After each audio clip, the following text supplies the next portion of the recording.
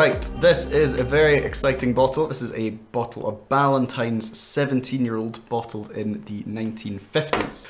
Being a blend, it's a combination of the grain whiskies, different malt whiskies from all different areas of Scotland. So, with blends, you don't really pick up much regional influence. Um, in terms of overall character of Ballantine's, would you say it's quite gentle, quite delicate? Yeah, yeah, Um, slightly fruity as well.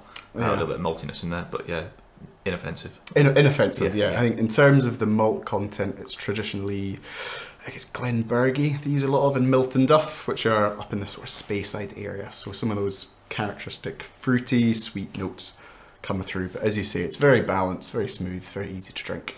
Now, for a blended whiskey like this, what would you say are the key components of a, of a fantastic blend? You want to definitely be able to taste the malt in there uh, for a start. Um, when it's 17 years old, you're going to want to taste some of that age in there as well. Um, you'd imagine that you are going to get malty notes. You're still going to get some fruity notes. There's a little bit of lightness from the grain, um, but because this is such an old example, you're probably going to be tasting a lot more complexity because of the the um, the floor malting basically that, that would have been used. This would have been distilled in the 1940s. Yeah, it's a Um, remarkable piece of history, and I think trying bottles from this era is is fantastic. The whiskey industry back then was completely different place to, to what it is yeah, now. yeah. You know, it wasn't run by by accountants as it is these days, so there was a greater use of this malt whiskey. You know, maybe a more generous aging. Maybe more active cask. So yeah, really excited to try this one.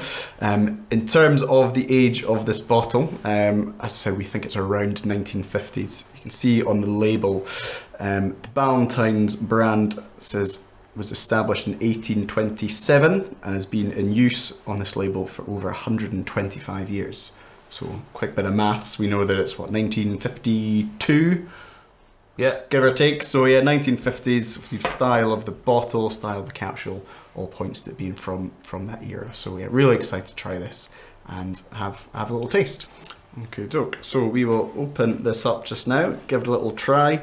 You'll notice on the capsule we have the uh, tack strip as well. This particular expression was imported into the into the states to Wisconsin around the 1950s. Um, so we'll get rid of this. Um, it does seem to be in good condition. Some of these older bottles do have a bit of deterioration. Um, what we'll do, we'll flip this over, moisten the cork a little bit, and hope that it doesn't fingers rip crossed. in half. Oh, this is always the nerve-wracking bit. So, being an old bottle disaster, you can see cork split off, disintegrating in the top. Um, this is going to require a bit of fiddly work with a corkscrew. Try and get the cork out. Try not to let it fall all over- the table and into liquids. Um, bottles of this age it's not not unusual. Um, you know, obviously the cork's been in there 60, 70 years plus, so Yeah, yeah. if it's not been maintained, temperature changes, this sort of disaster can happen. So let's salvage salvage what we can and have a nice nice little taste.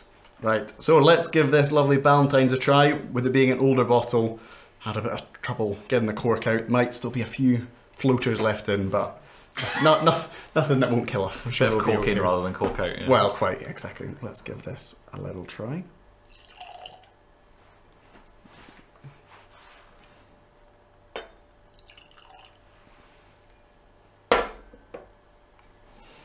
Cool. Right, let's have a little taste. Cheers, Jack. Let's try this Ballantine's 17. See what you think. On the nose, what do you think? Any immediate impressions? a lot more malty than I'd anticipated. A lot of Hmm. a bit of sherry influence as well.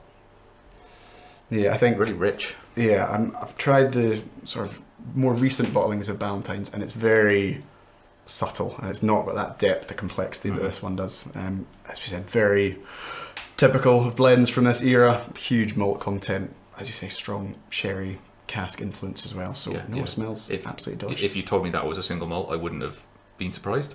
yeah, Yeah. absolutely. Let's give it a try and see if it tastes tastes like a single malt.